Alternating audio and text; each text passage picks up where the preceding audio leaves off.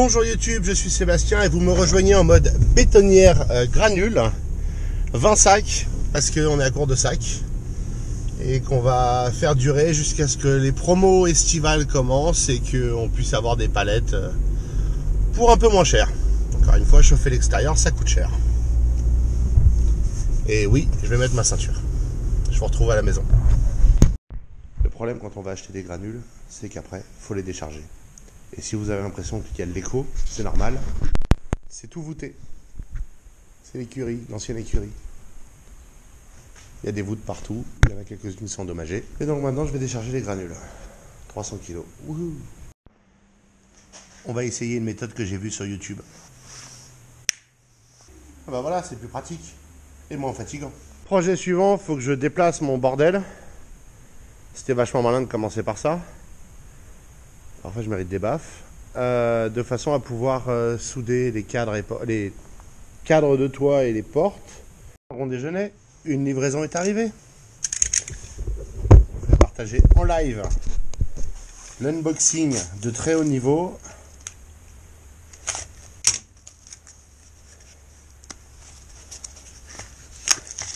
J'ai acheté un petit machin pour... Euh, pour finir les phrases, pour pouvoir mesurer la hauteur des outils. Un truc tout bête, hein.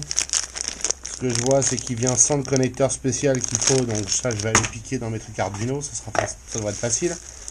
Et nous avons des roulements linéaires emballés par paire.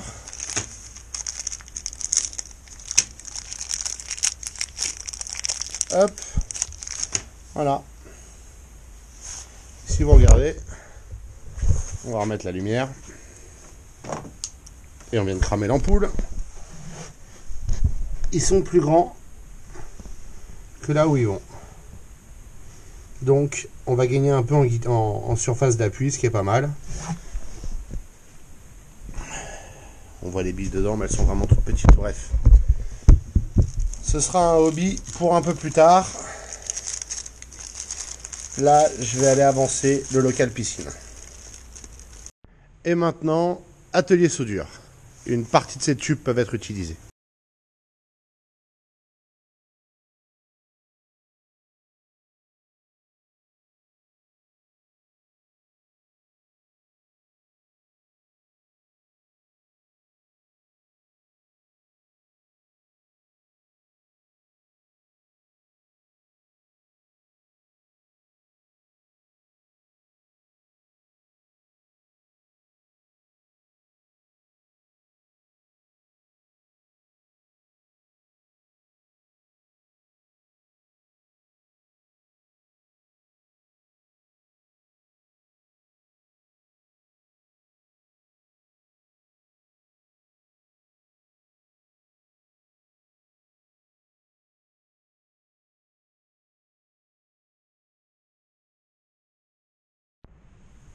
Et voilà, c'était pas grand chose.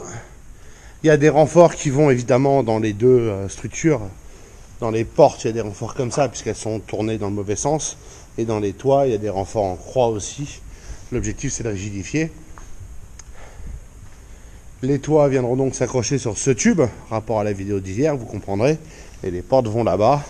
Et là, il y a un montant et un léger retour. Je n'ai pas encore tout coupé, vous voyez, j'ai, euh, il me manque des tubes là clairement. Mais euh, je vais attendre d'avoir la bonne lame pour continuer les découpes, ça sert à rien de m'affoler. Les renforts, c'est très facile à mettre. Ce que je fais, c'est que je prends des chutes, genre ça, du, même diamètre, mais peu importe le diamètre, euh, enfin la taille du tube. Je les pince sur le morceau à souder, ce qui donne un truc un peu comme ça, et ce qui rend extrêmement facile de l'ajuster au bon endroit. Il suffit avec des serre-joints ici et là, je peux très facilement mettre un renfort entre deux tubes et l'aligner parfaitement. Donc ça c'est euh, c'est pas un problème. Néanmoins vous avez pu constater à quel point ça peut être compliqué de souder des grandes structures quand on n'a pas de grandes tables de soudure, a fortiori sur un sol pas plat, parce que sinon j'aurais mis des tréteaux, ça aurait été infiniment plus simple. Mais si je mets des tréteaux à 2 mètres l'un de l'autre et à 1 mètre 40 l'un de l'autre, en carré, euh, ça va être 15 euh, cm de dénivelé. Toutes ces structures acier seraient beaucoup plus simples le jour où il y aura la dalle béton de la grange.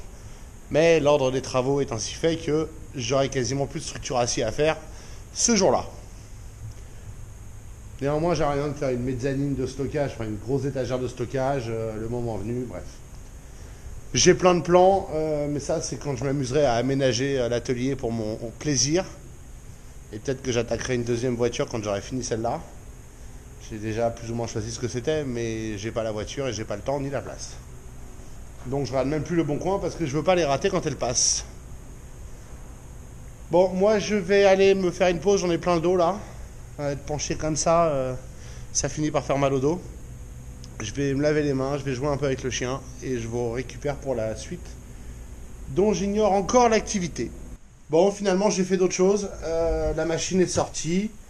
Demain, je vais la démonter pour euh, changer les roulements, voir si c'est mieux. Euh, le son que j'ai pris en la sortant de la cabine, j'ai passé l'aspirateur, hein, mais ça, le boîtier électronique, faut clairement qu'il sorte de la cabine parce que beaucoup trop de poussière, ça peut pas être bon pour l'électronique. Hein. Vous pouvez mettre tous les caches en plastique aéré que vous voulez avec un ventilateur, ça ne peut pas être durable et ou viable. Donc euh, ça, c'est le projet de demain, je pense. Sinon, j'ai fait d'autres recherches sur la maison. Euh, beaucoup plus simplement cette fois, puisque c'est Belle Maman qui a dit Ah, mais dans un des albums photos, il y a des lettres qui avaient été envoyées euh, par quelqu'un quand on a acheté la maison. c'est son père à elle, son grand-père, je ne sais plus qui l'avait acheté. Son grand-père, je crois. J'en sais rien. Faudrait que je me renseigne un peu là-dessus aussi, hein, soyons clairs. Mais globalement, ces lettres, il y a quelqu'un qui visiblement bossait aux archives de Savoie qui a écrit à l'époque euh, et qui avait été reçu sans être annoncé et qui avait apprécié d'être reçu. C'est beau quand même. Hein. Euh, il y a eu une période où il y a eu des fermiers fin 1800. Avant ça, c'était une famille euh, de nobles de la région qui se la sont passés de mariage en dotation, en mariage en dotation, en héritage depuis au moins le XVIe siècle. Et c'est eux qui étaient là en 1730. Apparemment, il y a des notes jointes au cadastre 1730 auxquelles on n'a pas accès ou qui ne sont pas numérisées. Et ces notes mentionnent maison, grange et cour. Donc il y avait déjà ça. Et donc avant ça, ils étaient déjà là, déjà cette famille. Voilà. Je pense que pour aller plus loin, il va falloir euh, euh, écrire et attendre et chercher longuement ou ne jamais trouver parce que euh, quand je tape les noms euh, des bourgeois de la région euh, dans, dans Google, on trouve rien. On trouve très très peu de choses sans aucune info. Il y a des sites de généalogie qui ont aspiré les actes de naissance et de décès de la région et des archives nationales. Mais ça ne me dit rien sur la maison, ça, ça me parle de la famille. Donc voilà où j'en suis. Je vous souhaite une excellente soirée. Et puis, je vous remercie d'avoir suivi cet épisode. Et je vous retrouve demain.